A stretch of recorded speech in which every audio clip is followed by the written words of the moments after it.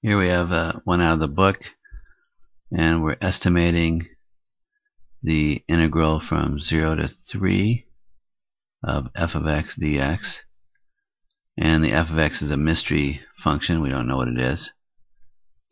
So um, I'm going to just use three rectangles here, three divisions.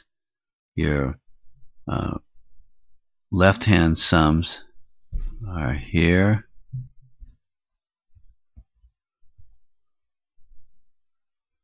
here, and here. And when you do those for the left, you get your 16 times 1, 8 times 1, 4 times 1, which is 28. So the green bars get you to a sum of 28. And using the right Riemann sums for three intervals, um, then you're going to have these rectangles. And those areas are 8 times 1, 4 times 1, and 2 times 1 because that's, that's 2 over there, so this height is uh, 2 right here. Okay, and when you add those up, you get 14. So a good method is to just average those two because you can see the green one in this case is an overestimate and the red one's an underestimate so why not just average them together?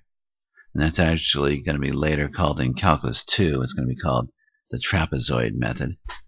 But for right now it just gives us a good a good estimate of the actual integral. And it's left Riemann sum plus right Riemann sum divided by 2, just the average. You get this here.